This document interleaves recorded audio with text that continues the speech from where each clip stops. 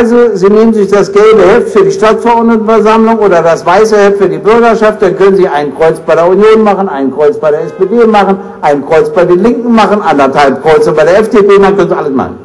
Sie können auch sagen, nee, nee ich mache gar kein Kreuz bei der Partei, ich mache lieber bei den Personen, es war bei der Person und bei der Person, bei jener. Wenn Sie dann aus Versehen mehr als fünf Stimmen abgeben, ist natürlich Ihr Stimmzettel ungültig. Hm? Schon ab fünfeinhalb, ne? bei sechs sowieso. Ich sage Ihnen, Sie verduddeln sich. Mein Rat an Sie, machen Sie was ganz anderes. Sie schlagen das gelbe Heft auf. Das ist die Stadtverordnetenversammlung. Da gehen Sie auf Seite 7. Da steht die Linke. Da machen Sie fünf Kreuze und machen das Heft wieder zu, legen es weg. Dann nehmen Sie das weiße Heft. Gehen wir auch auf Seite 7. Steht auch die Linke. Machen Sie wieder fünf Kreuze, machen zu und geben es ab. Wunderbar. Und dann haben Sie sich gar nicht verwundert. So sollte das passieren. Und ich bitte Sie, nicht zu vergessen, am Sonntag senden, senden Sie ein Signal nach Bremerhaven. Sie senden auch ein Signal nach Bremen, aber Sie senden auch ein Signal nach Berlin. Wenn Sie die CDU wählen, sagen Sie auch Ja zum Afghanistan-Krieg. Wenn Sie die SPD wählen, sagen Sie auch Ja zum Afghanistan-Krieg. Wenn Sie die FDP wählen, ich glaube, auf die Idee kommt keiner. Aber gut, also ich sage nur, sagen Sie auch Ja zum Afghanistan-Krieg. Wenn Sie die Grünen wählen, sagen Sie auch Ja zum Afghanistan-Krieg. Sie sagen in allen Fällen auch Ja zur Agenda 2010, zum Sozialabbau.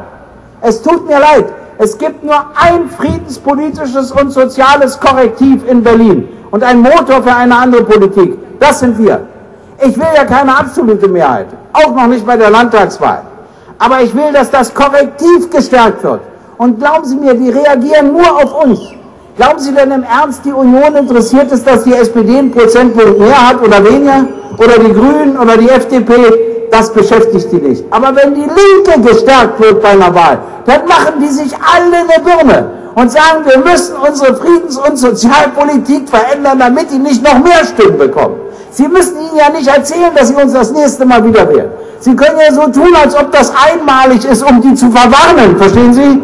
Und ich weiß das. Über jede Stimme für die Linken ärgern die sich. Und ich finde, die haben es verdient, sich zu ärgern. Und letztlich habe ich noch einen persönlichen Wunsch. Wissen Sie, das ist am Wahlsonntag immer so. Dann geht man an den anderen vorbei. Und ich hasse das, wenn die dann arrogant zu mir sagen, war nicht toll, ne? Und so. Also das kann ich gar nicht leiden. Lieber gehe ich leicht arrogant an den anderen vorbei und sage, ja, wenn eure Politik verändert, kriegt ihr auch wieder mehr Stimmen. Mit anderen Worten, ich bitte Sie auch mir einen schönen Tag zu machen. Ich gebe zu, es ist kein ausschlaggebendes Argument, aber ein kleines Hilfsargument. Aber vor allen Dingen, setzen Sie ein Zeichen. Hier für Bremerhaven, für Bremen und für Berlin, dass Sie mehr Frieden und mehr soziale Gerechtigkeit wollen. Und das bringen Sie zum Ausdruck, indem Sie Ihre zehn Stimmen den Linken geben. Dankeschön.